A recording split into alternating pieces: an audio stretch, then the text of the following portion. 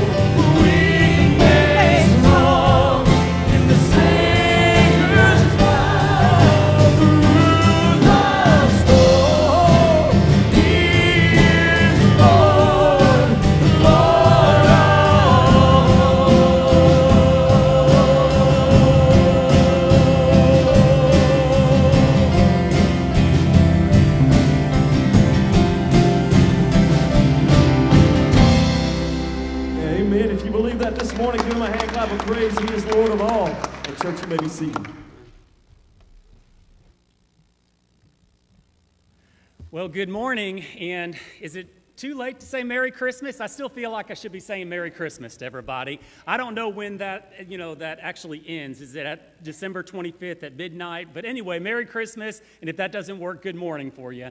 So good. Thank you. So good to have each of you here today. I hope you had a wonderful Christmas with your family. And it just seems really right to me to be able to spend Christmas with my family and then come back with my church family and spend this day with each of you worshiping the Lord Jesus Christ. And it is a great day to be in the house of the Lord. And I do hope that you had a wonderful Christmas. And just so glad to have each of you back today. Just looking forward to what God is going to do in the coming weeks and even here today. I do want to remind everybody that today we are still collecting for the Lottie Moon Christmas offering. It's an extremely important offering that goes to support international missionaries. And so if you haven't given yet, please be sure to give. We have these offering boxes that are here by the doors, and we can also give online if you want to do that or through text. The information's there on the worship guide. If you're a guest here with us, thank you so much for worshiping with us. It is a good day to be in the house of the Lord. And you notice on the worship guide that in the corner, there is a little scan there, if you don't mind to put your camera through that, and it'll take you to a connection card. If you can fill that out for us, we would appreciate that. We are glad to have you here. Glad to have everybody here today as we are lifting up the name of Jesus. And so let's go ahead and pray and give this time over to Him. Let's pray. Father, we love you today. So grateful for the weekend that we've had to be able to reflect on the fact that Jesus has come. He is Emmanuel, He is God with us, He is the Word becoming flesh and dwelling among us. And because of that, God, we know that Jesus came into this world to die on the cross for our sins and raised from the dead. And now He is our cornerstone. Now He is our hope. And we don't put our hope in anything else. And so, God, I know a lot of people are going through a lot of different things and have a lot of different emotions today. But one thing is sure that you are God. And I pray today that we would just be comforted by that fact that you reign and that you are alive today. And I pray, God, that our voices would be lifted up to give you the praise that you deserve. And God, I pray today that as Brother Randy comes and preaches in a little bit, that we'd be drawn to the cross and that we would see you as more glorious and more beautiful than anything else, and that we would have more excitement and anticipation hearing your word than opening presents under a tree. And God, we do love you today and just pray that everything that is said and done here would glorify your holy and majestic name.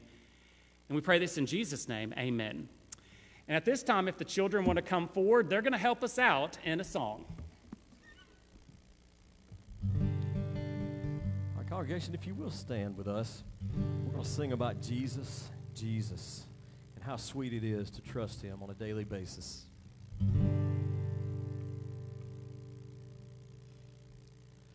Jesus, Jesus,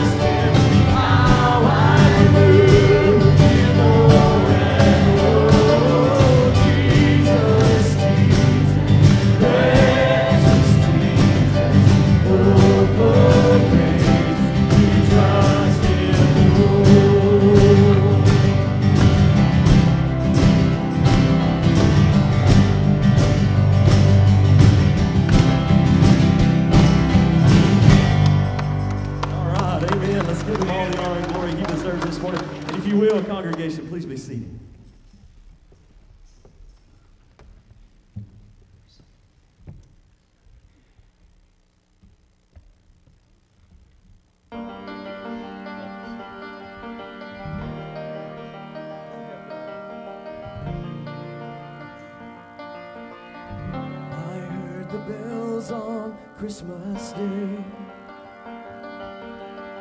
Their old familiar carols play.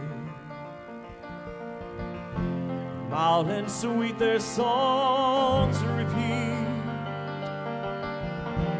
Peace on earth, goodwill to men.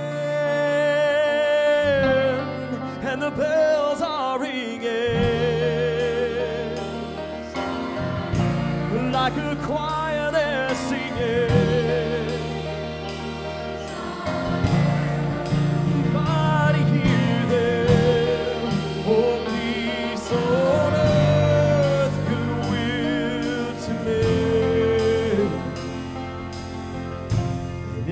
There I bowed my head. There is no peace on earth, I said. For it is strong and marks the song.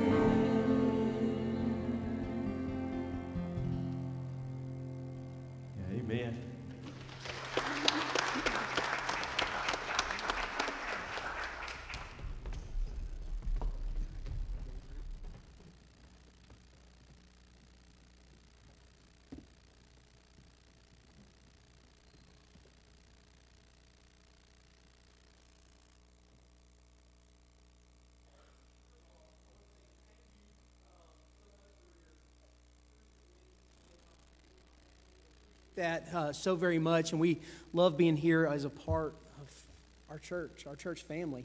Um, second of all, I normally would not uh, point out that somebody's not in church, but this morning I, I think it's appropriate that this person is not here um, out of self preservation. Um, I, I, can understand why Larry Sandlin is not here this morning because he heard I was preaching again. So, um, uh, so uh, anyway, um, um, I told him I wouldn't yell at him. He said, I don't believe you. Um, so anyway, um, as we as things start changing around here, as things start changing in our world, as, as we look at the economy, you know, how we'll look at our future, how things are going. Uh, one of the big things that we always think about is um, how are we going to invest our money? You know, uh, things change. It used to be it was all about CDs or bonds or, you know, into a savings account. Now it's into, uh, then it changed to stocks and stock, the stock market, even though that's still a big part of how we invest our money. One of the big changes recently in the last few years is into cryptocurrency, whether it's Bitcoin or Doge or um, now they're even trading, uh, trading virtual landscapes and JPEGs and investment in those kind of things, which completely not sure exactly how that works. But anyway, so as we talk about investments, you're like, well, hold up, Dave Ramsey. We're not, we're here for church. Not, just, just bear with me for a minute. Um, some people that we think of, or some investment firms that names that we think of, you know, are like Charles Schwab, E.F. Hutton, Merrill Lynch. Those are some names that automatically, automatically think about investments and money and, and financial things. Well, I'm going to give you a, a couple of more of investors uh, names, and you may, maybe you recognize them. I doubt it. Okay, but here we go. Um, names like Charlie Rice, Bob Roy, Mike New, Gerald Wilbanks, Chris Clark. Those men's names that I just listed are some of the most important investors that I've ever met. And those men that I just listed were people that invested in me when I was growing up. Those were my Sunday school teachers. One of them was not, wasn't my Sunday school teacher. He was just an upperclassman in, in the youth ministry that, that just invested in me when I was growing up in church. And those men are far greater than any of the names that I listed before. And so we're going to look this morning, dive into that this morning about being an investor, being an investor that is more profitable than Wall Street ever thought about being. And we're going to look at what it means to be an investor and what it means to be invested in, and how we can glorify God in both of those uh, situations. So, if you'll do this with me, if you'll turn in your Bibles to 1 Kings chapter 19, um, and we're going to start in verse 19.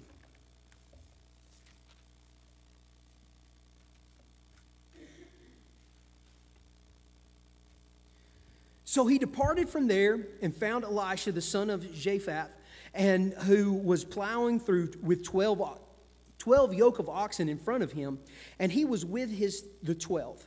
Elijah passed by him, cast his cloak upon him, and he left the oxen and ran after Elijah and said, Let me kiss my father and my mother, and then I will follow you. And he said to him, Go back again, for what, we, what have I done to you? And he returned from following him and took up the yoke of oxen and sacrificed them and boiled their, their flesh with the yoke of the oxen and gave it to the people, and they ate. Then he rose and went after Elijah and assisted him. Let's pray. Dear God, thank you so much for just this season and what it really means, and about the love that is demonstrated through this season that you sent your son to die on the cross for us so that we could have a relationship with you. God, I talked, I ask that you bless uh, your word this morning, that as we talk about being, inve- being invested and investing in people's lives around us, God, that we will see how you invested in us and do likewise. In Jesus' name I pray. Amen. So here we have Elijah who um, has been out, been out and said, Hey, God, God, I'm, I'm so alone. I'm so alone. I'm so alone. And God's like, No, you're not. I got you covered. So he said, Go this way. And, and God showed, God, as he's walking alone, along, God showed Elijah this new name, Elisha. Who, if you haven't figured out, Elisha was a pretty wealthy guy. Um, he had 12 yoke of oxen, so that means he had at least 24 oxen, if not more and, and he's the back guy. I mean, he's not like the front guy who's learning and everybody's telling him what to do. You know, he's the back guy telling the other 11 what to do. And so he's plowing a lot of ground. So, which means not only did he have a lot of oxen, he had a lot of land. So he's a pretty wealthy guy. And Elijah comes on, he just takes, it doesn't say that he even said anything about it. He just takes his cloak off and lays it up on him and, and then starts to walk off. And Elijah, Elisha's like, whoa, whoa, whoa, whoa, hold up, hold up just a second. I dig what you're saying, and I'll be with you in a minute. Let me go back and say goodbye. And, and Elijah's like, well, okay, you know, okay, I don't know what, what have I done, you know? And it's not like he made a mistake. He was just like, okay, let's make sure we, we're on the same page. And Elisha's like, yeah, I'm good with it. So we went back, celebrated with his family, and then it says they went off together so that Elisha could assist Elijah. And so, as we look at this story, we can see the two sides of it. We can see the Elijah side of it, and we can see the Elisha side of it. And we're going to look at both of those sides uh, this morning as we dig in. And so, the first thing that we're going to look at is we're actually going to look at the Elijah side of it. And, and the first thing that we need to see is we can be the investor. We need to be the investor. We need to be the mentor to those people that are around us. That's what God called Elijah to do to be a mentor towards Elisha. We'll see that there were other people um, in, in, this group, but Elisha was the main one. God has called us to do that. It's not just, it's not just sort of a, a hey, this would be a good idea. God wants us to invest in those people around us and teach the people around us and, and help them grow in their relationship with Christ. Um, and as we dig into this, God showed him who to invest. It wasn't like it wasn't like he just the any, meeny, money, mo. He knew what he was doing because God led him to put his cloak on Elisha. But we see this through all, all um, throughout Scripture. If you look, you got Moses and Joshua, you've got Naomi and Ruth, you've got Barnabas and John Mark, you've got Paul and Timothy. Throughout Scriptures, we will see these different kinds of things. And the thing about it is, is God will show us who we need to invest in. Okay? It's not going to be a random person on the side of the street saying, hey, God, God showed, showed me that I need to talk to you. Okay? That's not exactly how that's going to work. What it means is this as we do life, as we do church, as we go about it, we will run into people, we will bump into people, and God's going to say, Him or her. That's who you need to invest in. And God will show us who that is. God will show us as we grow, as we go along, and say, This is the person that you need to pour your life into. And obviously, the first thought is going to be, um, you know, our family. Well, I'm talking about outside of our family, okay? Outside of our children, outside of. Um, our sons and daughters. It's going to be someone else in, in the church. And so you need to start asking yourself okay, if God has called me to do this, who is that? Who is that? And it's not so much about biblical knowledge as we're investing. It's not about biblical knowledge, but it's about biblical living. Okay? We've had a conversation, we've had a conversation, uh, my mom and I and, and, and, my brother Jonathan recently about, I'll, I'll be honest, I, I, knew Jesus had brothers, and I knew one of his brothers' names was James, but there are three others listed in there. And they're like, what? I didn't know that. Did that, did that impact my spiritual development because I only knew one of, Jesus, one of Jesus' brother's name? No. Did the people, did those people, those men that I listed earlier, know that? I, I don't know that they didn't know that, but I'm pretty sure they didn't. But it's about investing in a person, not about getting them to know biblical facts, but getting them to understand what it means to live biblically, what it means to live a godly life. Well, what does that look like?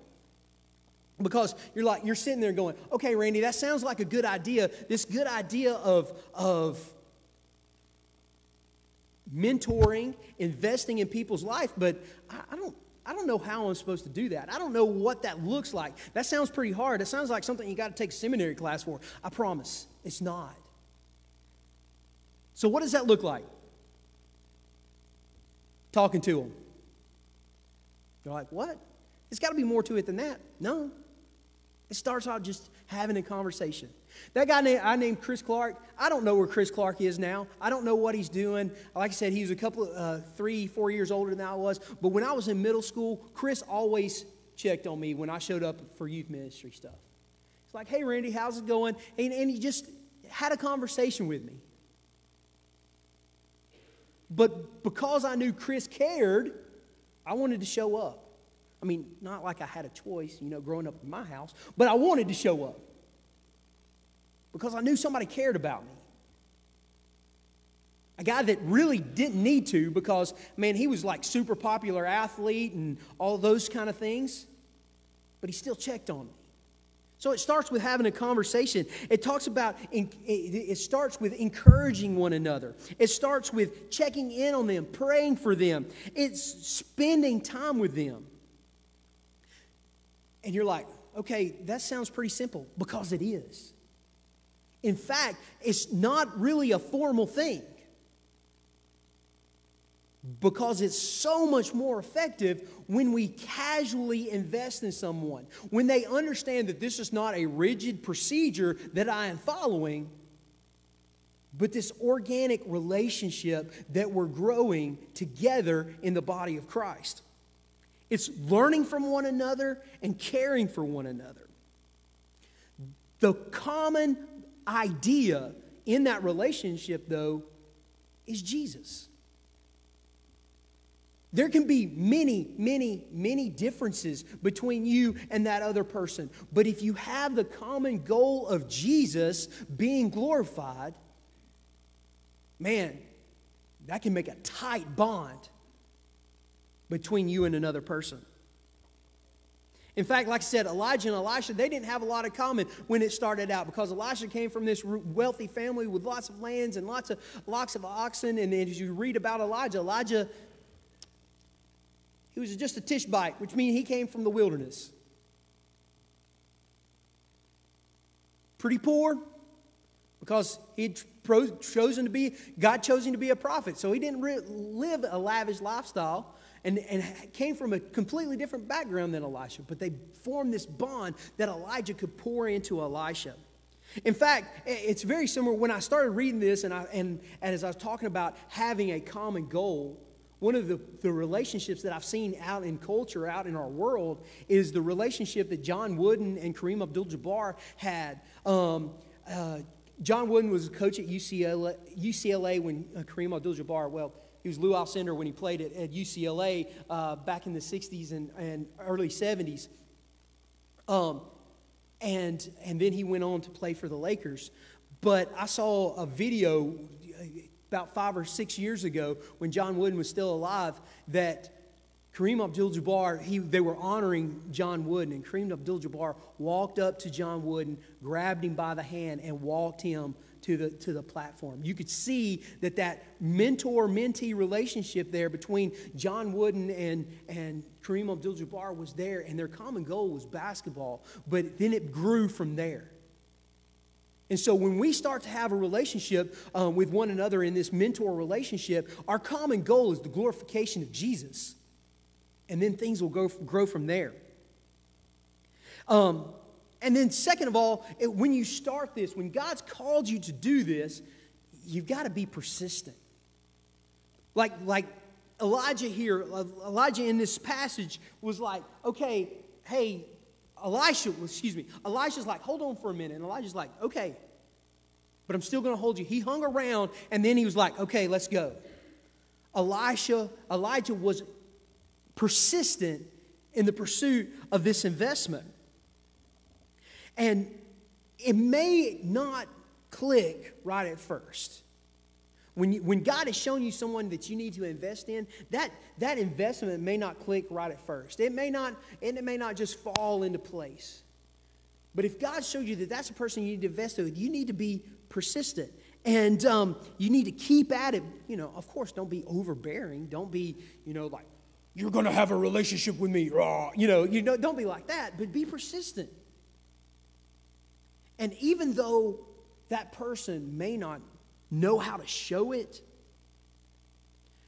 People younger than you, whether it's physically or spiritually, want your investment. Sometimes it doesn't, it doesn't show, sometimes it seems the opposite. But they want that, they desire that. And so you have to be persistent about it. You have to continue doing what God has called you to do. In fact, you may have to be the one with the greater effort. You're like, well, if they don't want my investment, then I'm not going to do it. No, you got to be persistent because they want it, they need it. And you're the one that's the mature one. So you need to continue the path towards that relationship. Um, but the thing about it is, is if that persistence is there,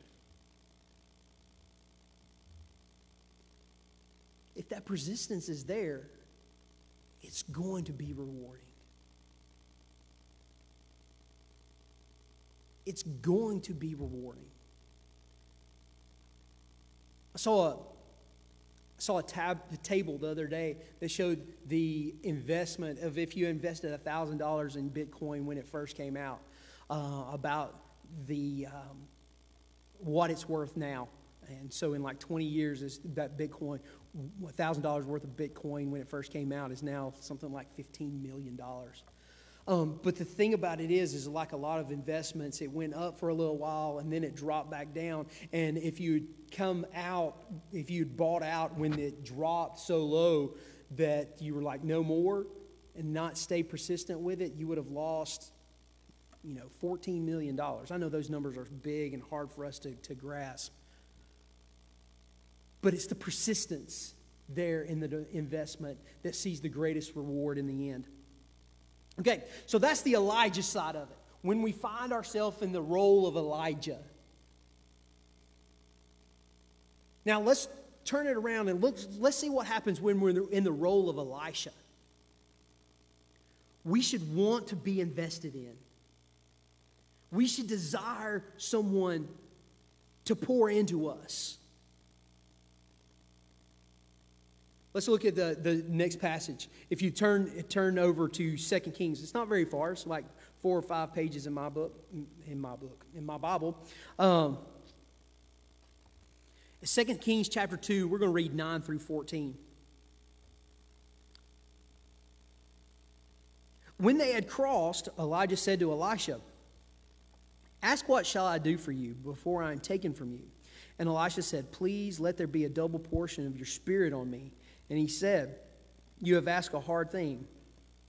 Yet, if you see me as I am being taken from you, it shall be so for you. But if you do not see me, it shall not be. And as they were still um, as, and as they were still went on and talked, behold, chariots of fire, horses of fire separated the two of them. And Elijah went up in a, by a whirlwind into heaven. And he took up the cloak of, and Elisha took up the cloak of, hev, Elijah and had fallen from him and went back and stood on the bank of the Jordan. Then he uh, took the cloak of Elijah that had fallen from him and struck the water, saying, uh, Where is the Lord, the God of Elijah? And when he had struck the water, uh, the water was parted on one side and to the other, and Elisha went over. Um, there is I cut and pasted it so it would be easy to read, and I think some of it got um, skipped out. Um, but, but anyway, and, and, there's a part where Elisha's reaction to Elijah being taken up. But as we're looking at, as we're looking in here um, at this uh, this passage, um, the thing from Elisha's side that we have to understand is that he treasured that relationship. He treasured the relationship that he had with his mentor Elijah. Earlier in the passage, he, Elijah knew it was time for him to go. Elisha knew it was time, that it was about over, but he was like, hey, let, let's not talk about it. He was telling his friends, let's not talk about it. We're not going to talk about it. And then Elijah asked him, hey, what, what's, what's going to happen? And he's like, well, what, well, Elijah asked Elisha, what can I do for you? He's like, I want a double portion. And Elijah's like, well, if you see me get taken up, then, then it shall be granted to you. I mean, at that point in time, Elisha is probably handcuffing himself to Elijah. He values that relationship. He's, he's like holding on to his coattail, walking where he's going. Uh, those kind, he says, I'm going to go over here and sit in the shade. Elisha's like, I'm going to go sit in the shade. I'm going to cross this river. I'm, he's crossing the river. And he valued, he treasured that relationship.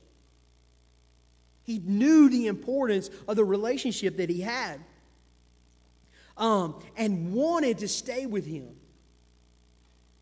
And when he asked for the double portion, it's not, it's not so much about Elisha as it is about um, the relationship that he had with Elijah and the relationship that he understood that Elijah had with God, and that's what he wanted more.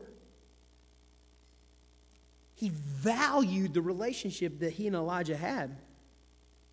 And we need to understand that importance. When we are the one being invested in, when we are the mentee, we need to understand the value of having that person that is investing in us. We need to treasure it. We need to hold on to it. Sometimes when we look at people older than us, or sometimes we look at things, uh, the people that are trying to invest in this, we may see that they're cranky. We may call them old fashioned or fuddy duddies or ignorant or things like that that just don't understand.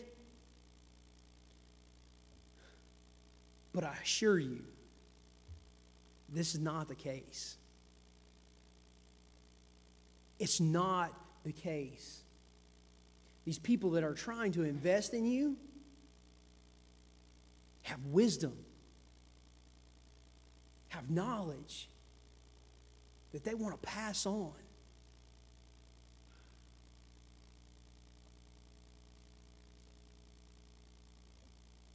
Back in the day, and it's probably still on, I haven't watched it much. Back in the day, one of the things that when we didn't have cable, when we just had over the air TV, um, one of the things that I would occasionally watch was Antique Roadshow. And, and there were two, two very good different things um, at, to watch on Antique Roadshow. Of course, there's the, the typical, hey, I found this and I don't know, know that it's worth a lot, but could you look at it? And they're like, yes, it's worth a million dollars. You know, so exciting. And, um, and you're like, yay, I'm happy for you. But let's be honest. To watch Antique Roadshow, the other side of Antique Roadshow was the people that were like, yes, this was passed down from my great great grandfather who was in, you know, the president's chief of staff, and I think it's worth a billion dollars. And they're like, and that, that's like 20 years old and it's um, worth two cents. Like, oh. Um, those, those are the fun things to watch. Those reactions are fun to watch. But the thing about it is, is, is Elijah Elisha knew that. And we have to take care that we value and understand the value of those relationships. We don't need to look at it as a burden that somebody's pouring into us. We need to look at it as something to look forward to. Proverbs 19:20 says, "Listen to the advice and accept instructions that you may gain wisdom in the future." Those people that are trying to invest in you have knowledge that you don't know anything about. No, they may not have a high school education, complete high school education. They may not have a college degree. They may have worked the same job since they were 18.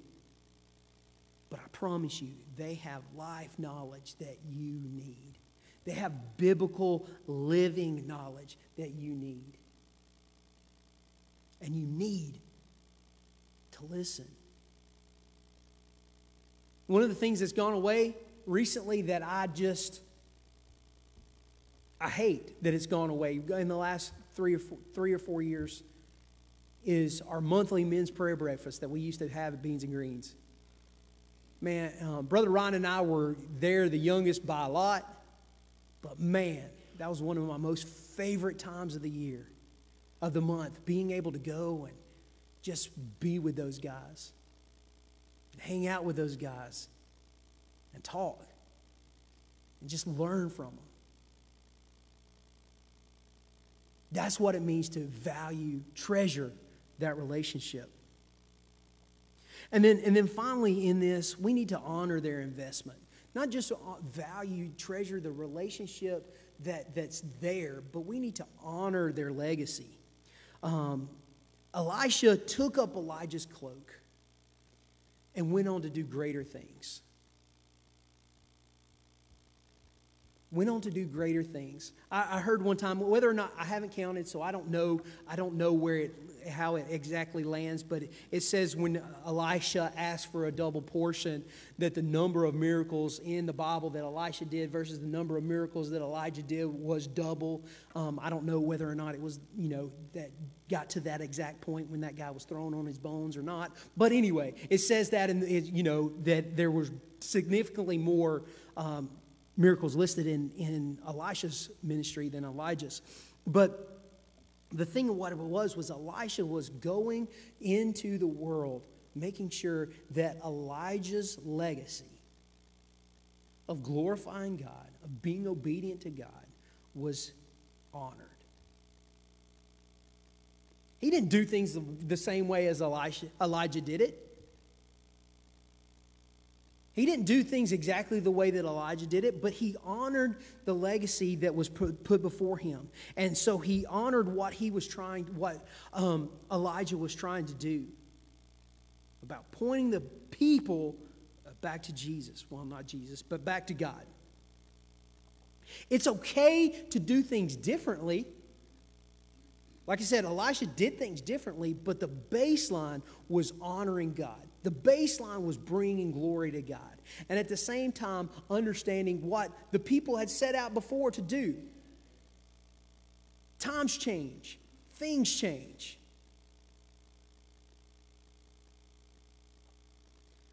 Those people that those people that built race cars in the 40s if we were racing those same cars today, they wouldn't have a chance. But the race cars that they race today are extremely fast, but it still falls in line with the legacy of racing. Their, things are done differently, suspensions differently, the engines run differently. All those kind of things are different, but it's still about the same legacy. And the th- same thing goes for us. We may do things differently, but we still have to honor the legacy that they set before, not for them, but so that God will be glorified so that God can be praised by the continuation of ministry in His world. So, as we look at this, we have to understand that we find ourselves in both places. You're like, uh, really? Um, I didn't, before you, we walked in here, I didn't even know one, what one of these places were much less both of them. But what we have to do is we have to we have to understand that God wants us to be both. As you get older, it's harder to find uh, um, that relationship um, uh, to be a, a mentee as you get older, but um, God wants us to be that. Um, I don't know. Some of y'all may know him. Some of y'all may not. Um, Gary Britton. He's the he's Mark Britton's brother, um, and um, he's um, uh, the campus pastor over at uh, JSU. And um, in conversations that we've had, because I've been him, with him to Cuba a couple of times, he's always talking about um, in our lives we need three people. We desperately need three people in our lives. We need a, a Paul, a Barnabas, and a Timothy. Paul is someone to mentor us. A Barnabas is somebody that's at the same place we are to encourage us, and a Timothy is somebody that we're investing in. And I can't agree with that more.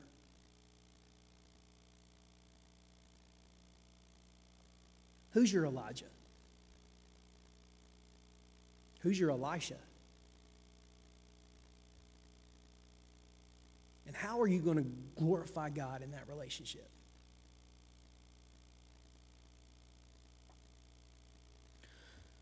As we talk about this, as we come through this and we talk about this investment, and being a mentor or being a mentee is not something that's foreign to our outside world. Like I said, uh, I gave the example earlier of John Wooden and Kareem Abdul-Jabbar. But when this relationship is centered around Jesus, that investment is tenfold hundredfold, thousandfold of what we think it might be because God's the one that is increasing the harvest because we are doing this together to bring Him honor and glory. But if you don't know Him, if you don't know who He is,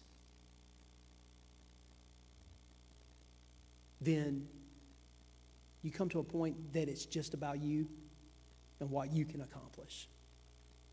And I promise, compared to God, you can't accomplish very much. But He, that being God, wants to see us grow together, investing, loving one another as we do it.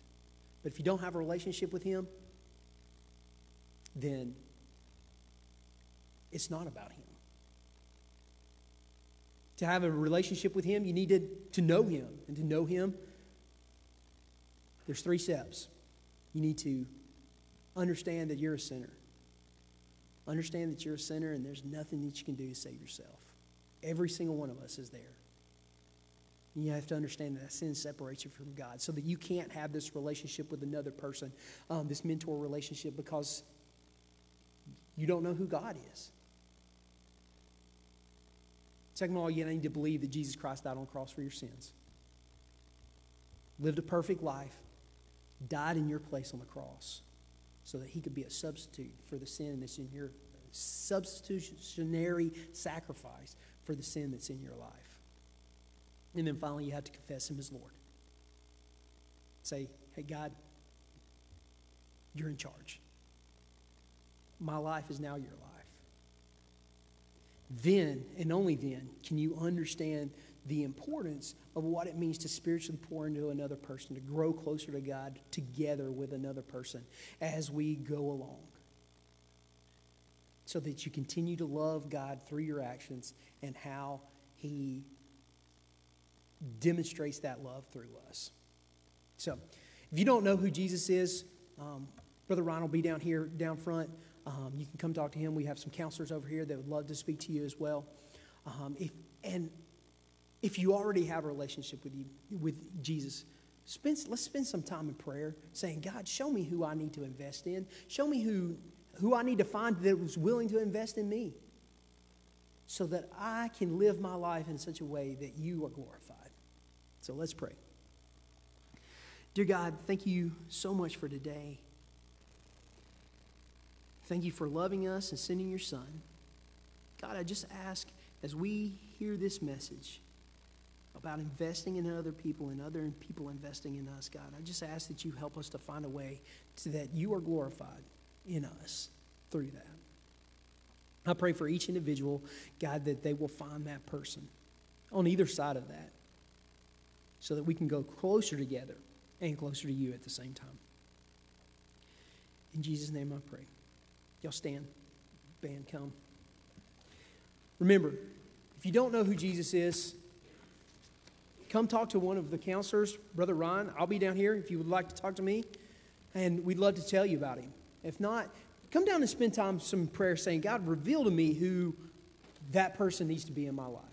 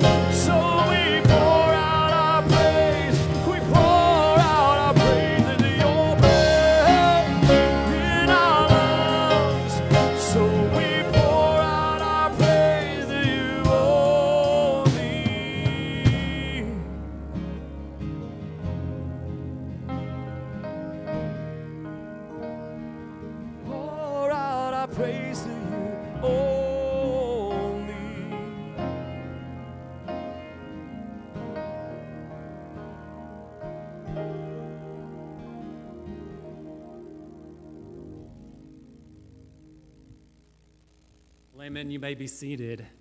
Thank you, Brother Randy, for the word today. An appropriate reminder as we are closing off 2021 and going into 2022 that as Christians, we need to always look for those opportunities for people to invest in and, and also people to invest in us. So I appreciate that. Thank you. If you grabbed your worship guide, there are a couple of announcements that I want to stress. To begin with, don't forget to give to Lottie Moon a very important offering.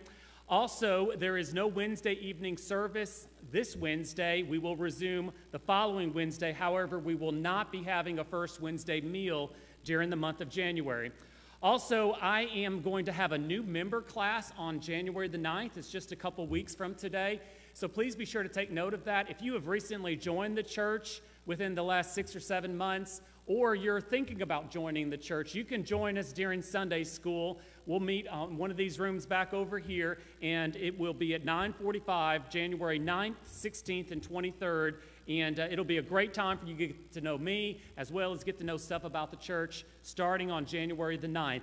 And next week, we're going to be in a new year. And it's important that we start the new year off right. And I'm hoping and praying that you'll take church attendance and being faithful and make it a priority coming in for the new year. It is going to be a great, great year. I can't tell you, I have just anticipation like I've never had before about what God's going to do here at the church. And in the coming weeks, you're going to be hearing a lot about what God's laid upon my heart.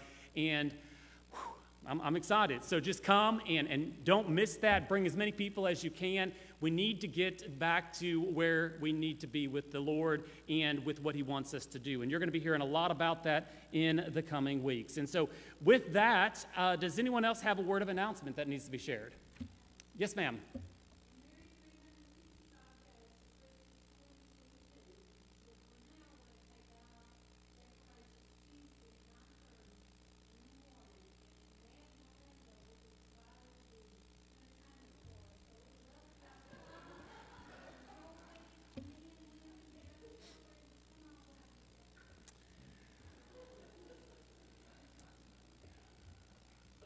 All right.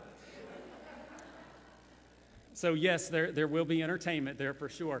Um, so this Tuesday, 9:30, if you want to help out taking down Christmas decorations, I hate to see them being taken down, but um, like she said, it's it's a little bit of time before Christmas next year. Is there another word of announcement? All right. Well, it's been a good day, and I hope you guys have a great weekend just celebrating Christmas and, and what it means. And I pray that just as you wrap up this year, start thinking about how much God has blessed you. And, and you know, some of you have had some rough years, some of you have had a lot of difficult circumstances, but every one of you have been blessed by the hand of God this year. And I think it would be appropriate, just as the days move ahead, that you take time to write out that word of thanks to God for everything He's done in your life. And so, with that, we are going to go ahead and dismiss with a song, and Jeff and the praise band is going to dismiss us. So let's all stand together. God bless you for being here. Have a wonderful, wonderful afternoon.